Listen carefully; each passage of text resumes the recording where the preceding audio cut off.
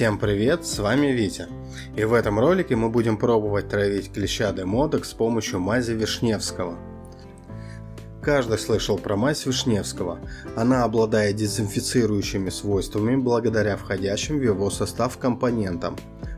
Препарат проявляет противовоспалительное, слабо раздражающее действие на рецепторы тканей, способствует ускорению процесса заживления ран и нормализует кровоснабжение тканей. И сегодня по вашим просьбам я решил эту мазь проверить на нашем клише Демодексе. Смотрите какого красавчика я отловил.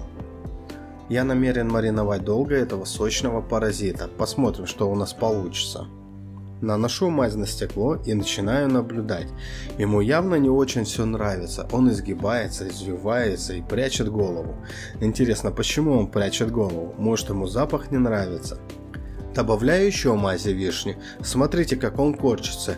Я покажу вам его со всех сторон, чтобы вы его лучше увидели. Мне он напоминает обувь или стопу. Пишите в комментариях, на что по-вашему похож наш клещ в профиль. Добавляю еще мази.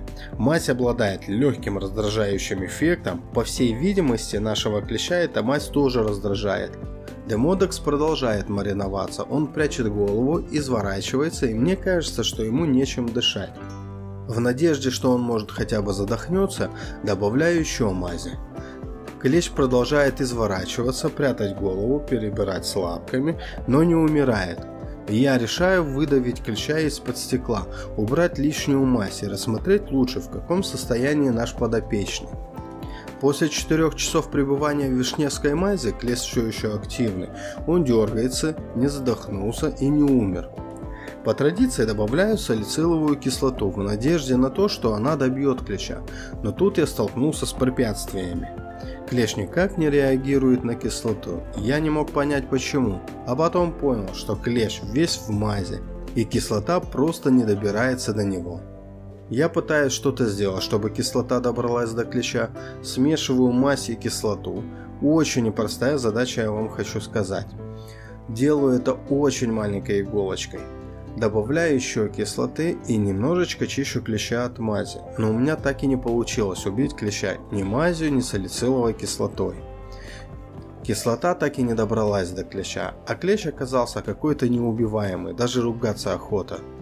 Дальше салициловая кислота стала кристаллизоваться, и мне пришлось убирать частички кристаллов, чтобы вам показать результат эксперимента.